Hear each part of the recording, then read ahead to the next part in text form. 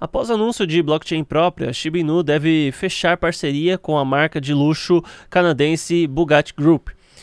É, bom, Shiba Inu, eu sempre falei aqui para vocês que é uma moeda baseada em meme e esse é o principal apelo dela. Ela pode ter alguns fundamentos em relação à rentabilidade, se propor a realizar certas ações, mas efetivamente ainda assim continua sendo uma moeda meme. Então, quando a gente fala a respeito de funcionalidades para o mercado, utilidade para a sociedade, gente, moedas meme não chega a alcançar esse patamar é, de uso ou de.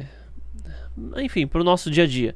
Então eu não acredito que elas é, devam fazer parte aí das carteiras principais. Né? Eu particularmente hoje eu me encontro como holder assim, na minha carteira agora só tem Bitcoin e Avalanche, mas é, é, o mercado dando uma revertida e de acordo com os sinais que vão acontecer, eu particularmente holdo cinco moedas em minha carteira principal, sendo Bitcoin, é, Avalanche, Avax, Ethereum, é, Ada Cardano e BNB. Tá? Daí eu tenho as carteiras secundárias e tudo mais, e do meu ponto de vista, é, Shiba Inu, é, Dogecoin, Baby Shiba, Baby Doge, enfim, essas coisas todas aí ainda estão no quesito de especulação. O mercado cripto como um todo já é ah, algo que talvez seja mais adequado à especulação, embora tenha fundamentos, né? A liberdade, descentralização e tudo mais.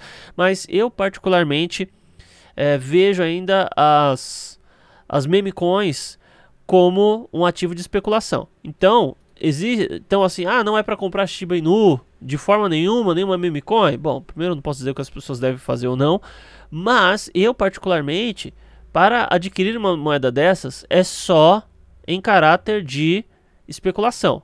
Eu não consigo acreditar e ver uma projeção relacionada diretamente a fundamentos. Elas têm fundamentos válidos? Tem, tem fundamentos.